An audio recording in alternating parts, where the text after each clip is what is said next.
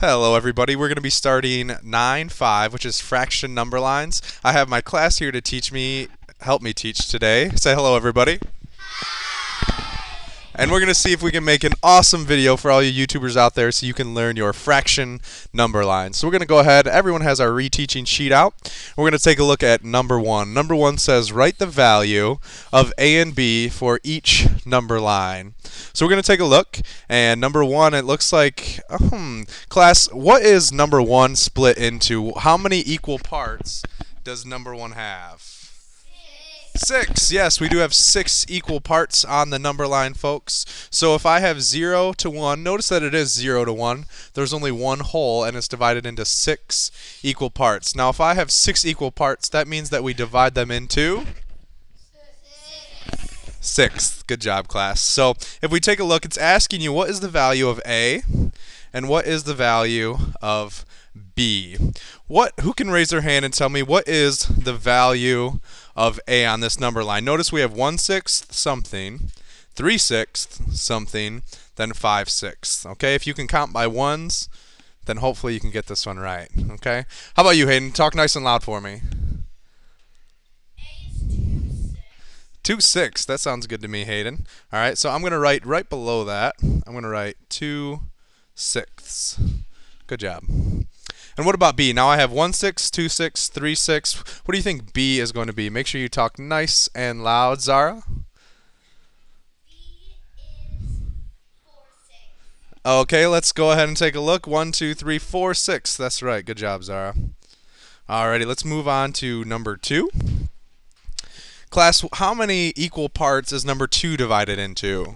Class? Good. Four equal parts. So if we look, this one needs to tell us what A is and what B is. Okay. Notice that this first section is one fourth. We don't know what B is. And then we have three fourths and one fourth. Now this one's kind of a trick question. All right. So pay attention. What do you think um, A is? Where does that sit on the number line? Sophia, what do you think? Nice and loud. Zero. Good. I thought that would be a tricky one where it stump you. That is a zero. Then from 0 to this first one, this is one equal part, which is worth 1 fourth. And then I have a second equal part, so we would call B what, Peyton? 2 fourths, absolutely, dude. Good job.